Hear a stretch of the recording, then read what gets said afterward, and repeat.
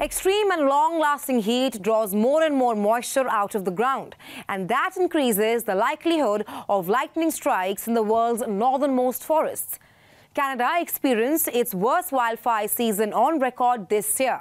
Starting in early May, several wildfires were seen in Alberta, British Columbia and Saskatchewan and continued into the month of October while Canada's wildfires engulfed around 18 million hectares of land in total in 2023.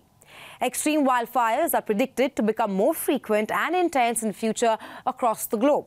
But what are the causes of these wildfires? Is there a way to prepare for them? Let's understand. Devastating wildfires swept the globe this summer, from Nepal in Asia to Hawaii in the Pacific.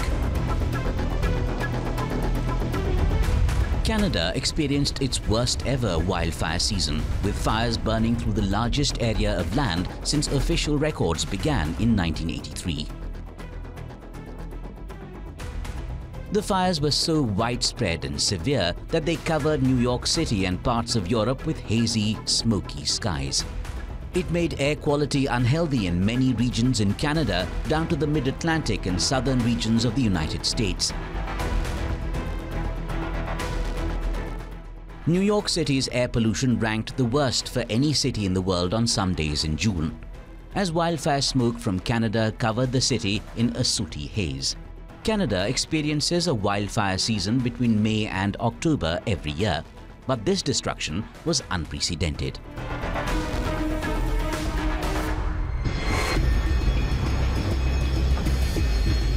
The fires this year have been widespread, numerous and intense.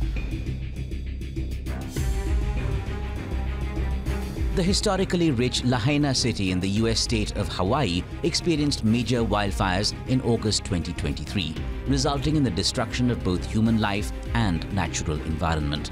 Around 13,000 people lost their homes as around 2,200 buildings were destroyed in the fire. 93 died and many were injured in wildfires in Lahaina and its surroundings.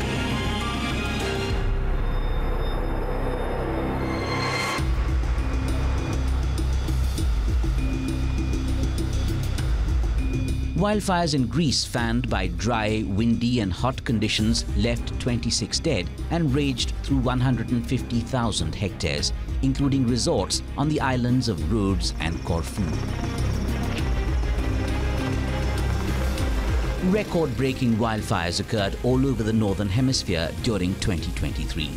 And the results are startling, underscoring the urgent need for global action to mitigate the terrible impact of climate change. From wildfires causing a haze of smoke that induced pollution-related health problems to hurricanes and floods that destroyed millions of homes and infrastructure, the world continues to grapple with the escalating climate crisis. With each passing year, the impact of climate change has become increasingly severe. Question being, should we then adapt and prepare for life in an ever-changing climatic environment? Or should we take decisive action to mitigate this existential threat? The choice is ours.